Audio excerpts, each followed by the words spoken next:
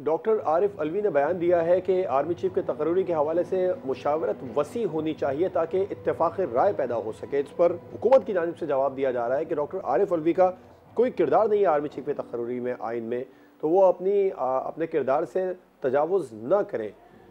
सज्जाद मीर साहब आपको क्या लगता है वसी मुशावरत की बात डॉक्टर आरिफ अलवी ने तो की है ये गैर आइनी है?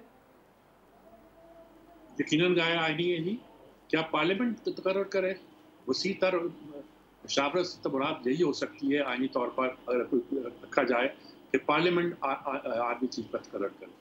देखिए, हमारे यहाँ जजों का तकर हो या चीफ जस्टिस का तकर हो या आर्मी चीफ का तकर हो या और बहुत सी तकर्री हो। इसके बारे में बड़े इफ़ एंड बट्स उठते रहे हैं और उठते रहते हैं। लेकिन सदर का इस वक्त ये कहना, असल सदर फंसे हुए हैं।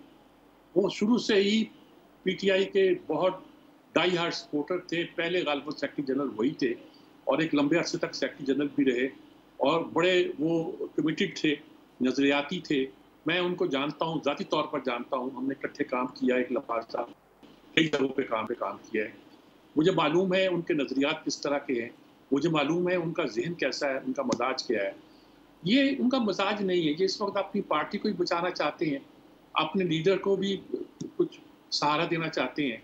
और साथ के साथ अपने आप को भी कुछ अलग रखना चाहते हैं। आप उन्होंने कह दिया कि मैं तो नहीं समझता कि ये जो साइबर वाला मसला था, ये कुछ फ़ौरन साजिश हुई है। फिर किसी ने कह दिया कि वो तो कहते हैं कि साजिश हुई है। तो उन्होंने कहा, मैंने कहा था कि मुझे उसके बारे में तहफात है। तो इस तरह के बहुत सारे बयान जो उनको देने पड़ रहे हैं और जो बहुत सारे इकदाम उनको करना पड़ रहे हैं, वो उनकी इस मजबूरी का नाम है कि वो सियासी तौर पर पीटीआई के साथ हैं। लेकिन उसके बावजूद भी हंड्रेड परसेंट वो अपने लीडर इमरान खान से मुतफिक नहीं है। जब वो पार्टी में थे तो इख्तलाफ भी करते थे और इख्तलाफ राय का इजहार भी करते थे और बहुत कुछ करते थे। अभी वो कहते हैं कि इमरान खान ने जब पार्लियामेंट में ना बैठने का फैसला किया तो मैं, मुझसे पूछ लेते तो मैं शायद बेहतर मशवरा देता। तो इस तरह की बातें भी करते, वो ये भी कहते रहते हैं कि जब वो सदर थे और वज़ीर अजम थे इमरान खान, कि मैं जहाँ मुनासब होता है उन, उनसे बात करता रहता उन, उनको कन्विंस करता रहता हूँ अपनी बात पर। ये सारी बातें दुरुस्त है। लेकिन इमरान खान इमरान खान है।